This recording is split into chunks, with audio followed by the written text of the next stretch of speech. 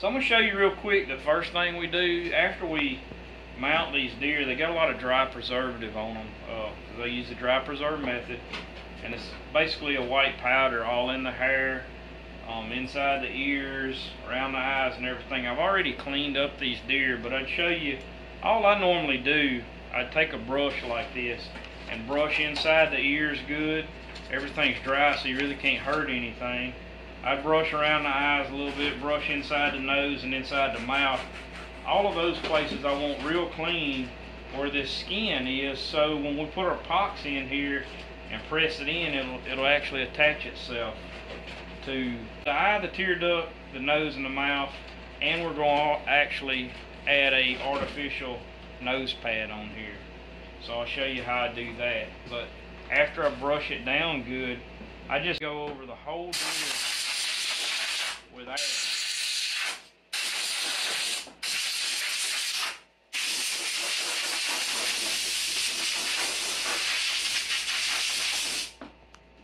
You can see she's uh she's trying to help. She just don't know what she's doing. Take a wet Q-tip and just kind of wipe all the eyes. I've done it on all three deer already. Wipe these eyes, all the there'll be a little bit of potter's clay and some preservative around them. Clean clean the glass eyes. I want them as clean as possible. Now we're going to do our finish work with epoxy sculpt. Um, same thing we use to repair horns and everything else. Alright, we got our epoxy sculpt. This is the natural. It's a two-part. All I'm doing, I just got this uh, little modeling tool. I always just reach in there and kind of pop me out uh, enough of it to start mixing up get me the same part about the same amount out of this one. Need a little bit more than that. I'll just keep getting it out of there till I think I've got about the same amount. Get a little bit more of this one. That's pretty close. Just like always we mix this up just like modeling clay or Play-Doh or something that you was messing with. You'll see the, the two colors go to mixing well. I like to twist it. Seems to be the best way to get it to mix is, is to twist it like that. I'm busy here. You're into everything. Uh-uh. No, ma'am. You want to play, don't you? You just, you just want to play? Yeah. She's a handful. So all I'm going to do is I'm going to take a little pinch off of this uh, epoxy. I hold it in my hand. It kind of keeps it warm. It doesn't seem to set up as quick. So I'll put a little BB right in there. Put another little BB right in this corner of the eye. And uh, I like to take the modeling tool. I made these modeling tools. You can see that one, that end, and then this end is a bigger piece, and then this one's a little bit smaller. I made these out of welding rods myself. Now I'll take this and I'll roll this out a little bit smaller like so and there's a crack right in here it's kind of small I'm not sure if you can see it there's a crack right in here now there's clay in here once this is dried for three or four weeks or good and dry, it shouldn't move anymore. And technically, if you use epoxy here instead of wax or something like that, this epoxy won't crack or give way. But the key to this is making sure that that this clay and everything under here is 100% dry before you ever finish your deer. If you mount a deer and you finish it two weeks later and this hadn't dried yet and you put epoxy in here and it dries a little bit more, you're going to see a crack come in right here, you know, between the epoxy and the or between the epoxy and the skin. So I let my deer or whatever I'm doing dry good, you know, four, five, six weeks sometimes, depending on the weather and humidity, how hot it is. Um, the hotter, the faster they dry. You know, I've had them dry enough in two weeks, and sometimes it takes four weeks. So you kind of got to watch that wintertime, I have had to put a heater out here in the shop um, for a few days just to help the deer heads dry fast enough. Get a little bit different angle there, but same thing on the top. You can't really see it, but there's always a, top doesn't normally seem to be as bad, but there's always a little crack up there, and I always take that epoxy. Um, some people may not, but I always take it and try to push a little bit and every crack all the way around that eye. All right, I got me a cup I keep out here. It ain't for drinking, but that's water in there. You can see the water in it. And that's that's what I use for modeling. So I'll just take my modeling tool and I'll dip it in there and wet it. And that little bit of water on there will slide on this stuff. Take and, and press. And uh, I keep me a paper towel just to wipe this off in. But I'll just keep impressing that in there and sliding it like so and you'll, you'll see it go to smoothing out with that modeling tool. As I do that I'm getting both the corners. I like to use this um, bigger end on the corners and then sometimes I'll go to the smaller end of that modeling tool. Same thing here I'm just taking it making sure that I, I tie it in with the skin press it in there good and it excess will just kind of push out of there. Same thing there. Now any excess on the eyes or up in here, I can take that and kind of clean that up a little bit. Now I got me a Q-tip. I like to wet it and just squeeze a little bit of the water out of it, whichever way it's actually rolled up. And then I take that wet Q-tip and waters are water's our best friend when we're working this epoxy. I'll just rub that down and, and smooth that epoxy in. That wet Q-tip always works good. Now that'll dry and that one's ready to paint.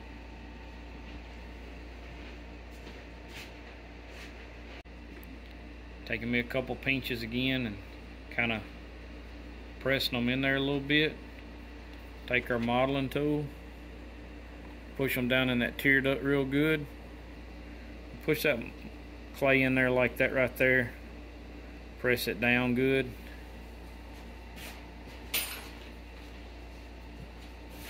Now I got another modeling tool and this one's a little bit different shape. You can see it's round and I use that. I built this one too. I use that and I'll just take it stick it right in there like that push down. Come back down here at the bottom push it back up. Then I take the other flat side and scrape any of the excess out of it. Stuff I don't need. I'll dip it in the water one more time kind of smooth that out. And that that modeling tool I built that just for these tear ducts. are just round and small enough that you can go in there and smooth that out. And it's already smooth, but I'll still take a little Q-tip and hit that. Two or three minutes, I'm done um, with epoxy work right there around that eye and that tear duct. Those are ready to paint. We're gonna do this uh, nostril right here. So I'm gonna start by just, um, they normally I finish them pretty deep up in there so it doesn't show a lot, but I'm normally just stuffing this nostril full of epoxy. Just cleaning right there.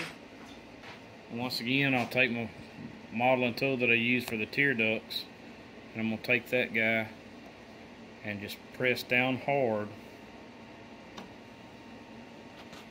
run it in there like that. Smooth this back all the way up until that tight part right there. All the way up to where that curve in that nostril is right there.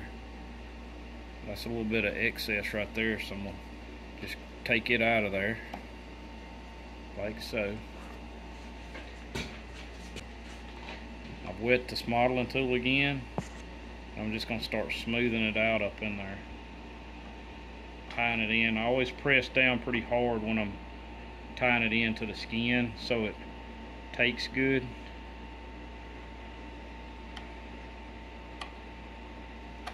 You see how I'm pressing that down in there. I'm still just smoothing it a little bit right this minute. Alright, I've got it pretty smooth. Yep, you guessed it. Old Q-tip again. Wet Q-tip trick. Works every time. Alright, I'm just finishing this uh, other side here. I put some epoxy in it, finishing it up.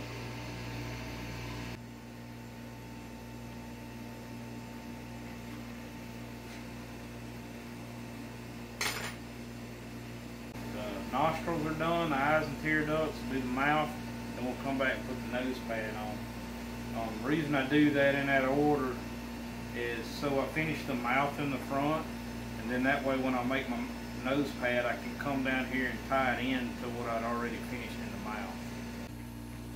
Now I would have had pins in here um, when we mounted it to hold the to hold the skin in while it dried.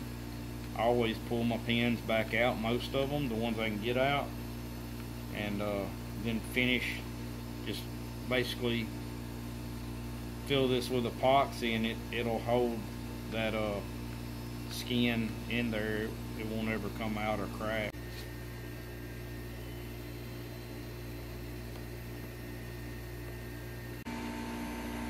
Got all this going on trying to get everything taken care of. Danielle done want me to get her deer heads and elk finished before I go to Colorado. Smoothing it out. Bring that modeling tool right around like so.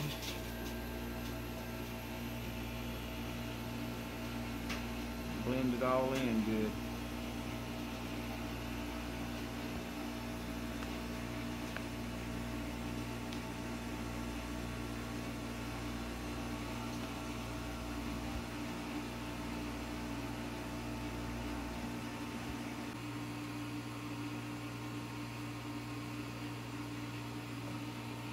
So I'm actually pressing this epoxy um, down and spreading it out. I don't need a lot. All I need is enough to roll those dimples into it.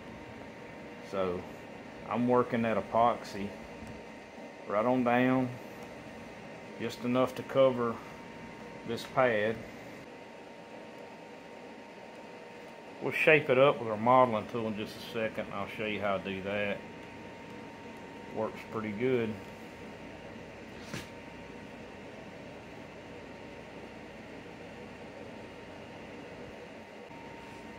Alright, I got a different modeling tool. Um, shaped that one a little bit different. That's for tucking. And it works pretty good on getting this lower section of this nose tied in with the epoxy on the mouth. And it's, it's been a few minutes since we did the the mouth, so it's already starting to harden and set up. So it actually makes this easier for me to tie in without messing messing that mouth part up. And I'm taking off some excess. I'm just shaping this is what I'm doing. Shaping it the shape of the nose pad. Outlining that nose pad. Show you how I tie it in in just a second. All the way around it, taking just a little bit. I actually want to see the nose pad. I don't want I don't want this epoxy actually in the hair right now. Modeling tool and just cutting it the shape of that nose pad all the way around that pad.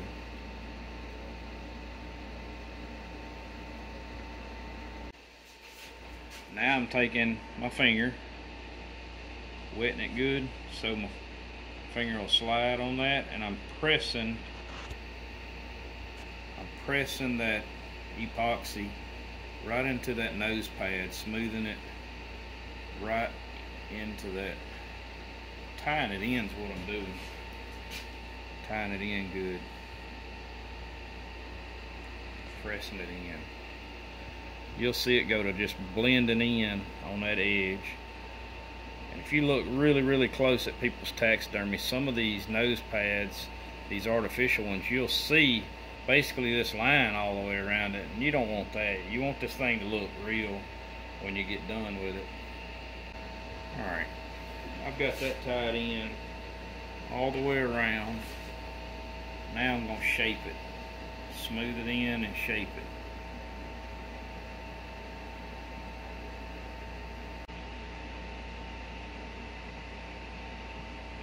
Now this whole nose pad's wet right there. One thing you got to watch for before you paint is make sure there's no fingerprints on this. And to do that, I'll leave it wet and you can see the little lather that it worked up there. And I'll just take a paper towel and wipe that whole nose pad. And what that's doing, I'm wiping all my fingerprints off of that nose pad. And I promise you, if you leave your fingerprints on that nose pad and paint it, you will see fingerprints on that nose pad. I've heard of people getting their mounts back and they're like, oh man, I see a fingerprint on the nose. Why is that? Well, that's why, because it's a epoxy nose pad and somebody touched it and guess what? Fingerprints.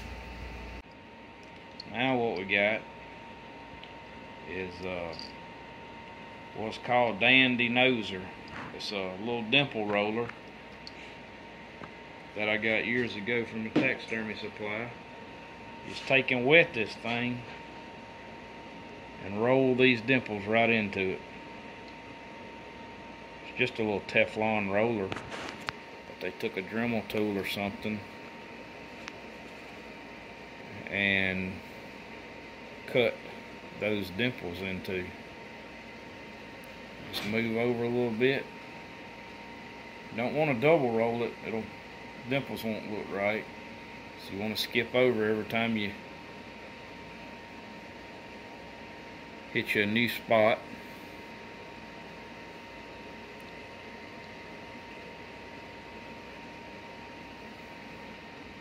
Looks pretty good. Now, you'll notice kind of notice around the edge that roller kind of leaves some little jagged edges around this. I always take me a Q-tip and go right back around that edge and it smooths all of that in. Do that before you paint it. You're going to have a good looking mount when you get done. Alright, looks a little silly right now because it's gray. But this gray is what you want. It'll be easy to tire darker colors in. So we'll come back paint this in a few minutes. When we do, this thing's going to look natural as all get out.